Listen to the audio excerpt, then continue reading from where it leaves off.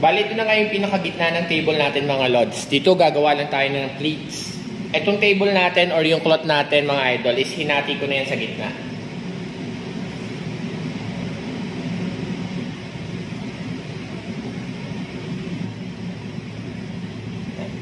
Dito ngayon magagawa ko ng apat na set papunta rito ng magkakapareha na pleats. At least 4 inches yung pleats na gagawin yung mga idol.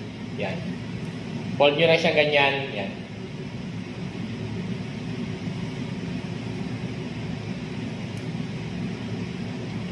Eto. Ito yung unang set natin. Bali, gagawa lang tayo dito ng tatlong piraso pa, tapos dito tatlong piraso rin. Bali, gagawa lang tayo ng pitong set ng magkakapareha na pleats. At least nasa 4 inches mga idol.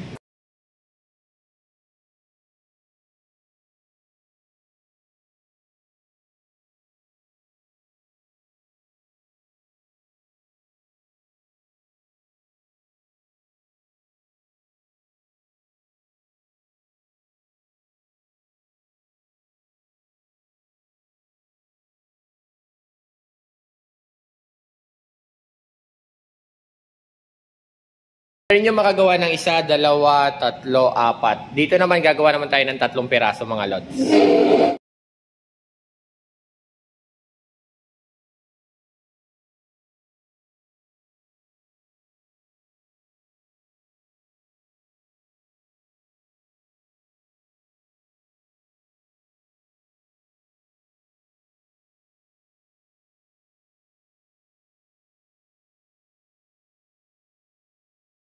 At ito na nga siya mga lods sa tapos na natin. 1, 2, 3, 4, 5, 6, 7, 7.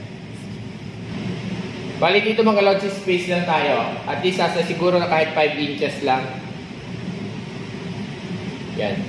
Tapos gagawa lang tayo dito ng apat na plates. At least 4 inches din.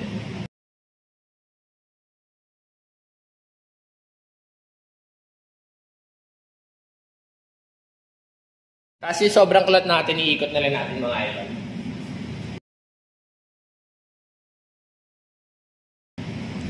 Tapos, pagkatapos na ito mga idol, ganun din yung gagawin nyo sa kabila.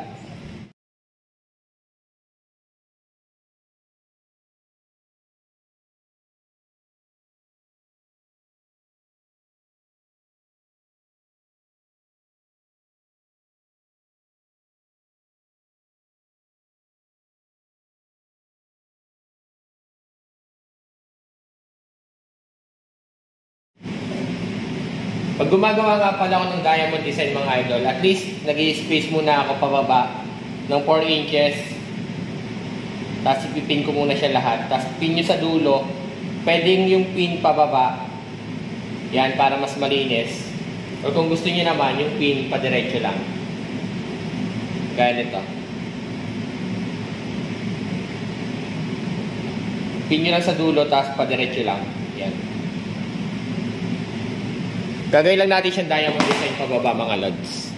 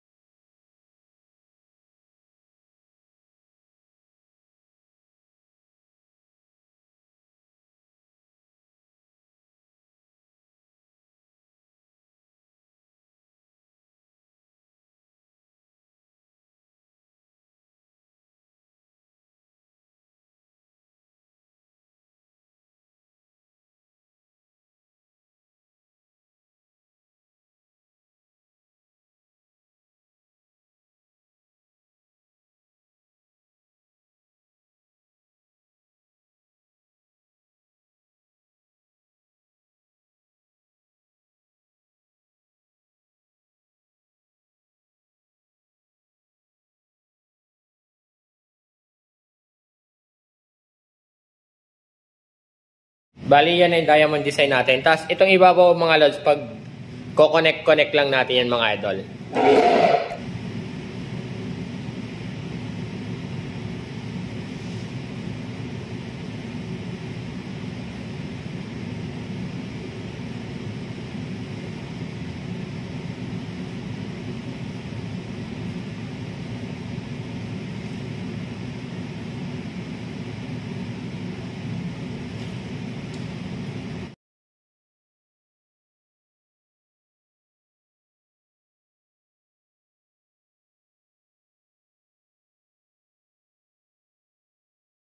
Bali, ito na yung diamond design natin mga lods. Yan. Tapos dito sa side na to mga idol, ito ipupold lang natin. Malaw.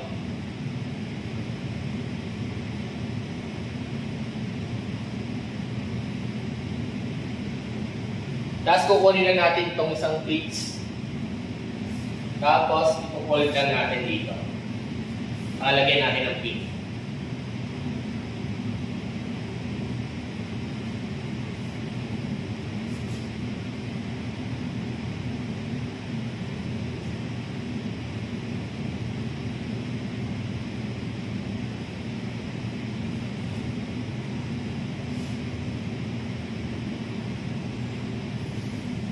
Yan ay magiging simpleng design niya. Tapos ganun din yung gagawin natin dito sa kabila.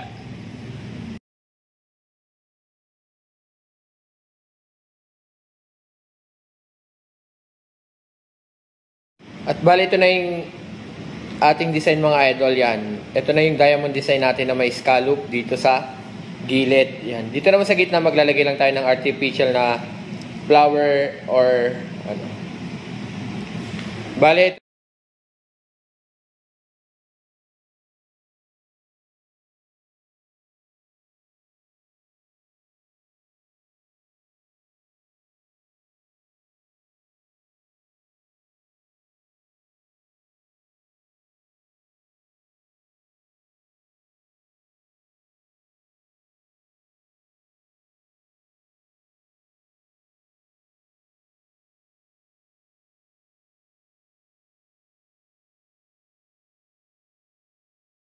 Tapos mapapansin nyo dito mga lods, kung mapapansin nyo dito, kung magalaw siya.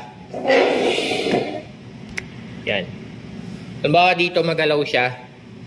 Pag naglagay kayo ng flower fold or yung pag naglagay kayo ng artificial na ano, pwede nyo siya lagyan ng pin dito sa may pinakagilid.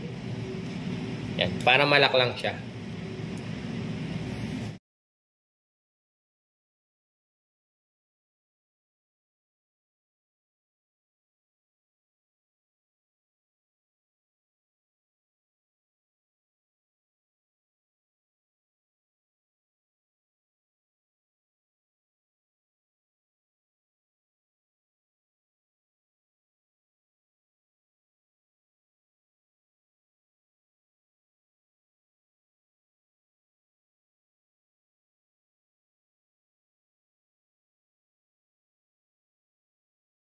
Bale, ito na siya mga lods, yung ating artificial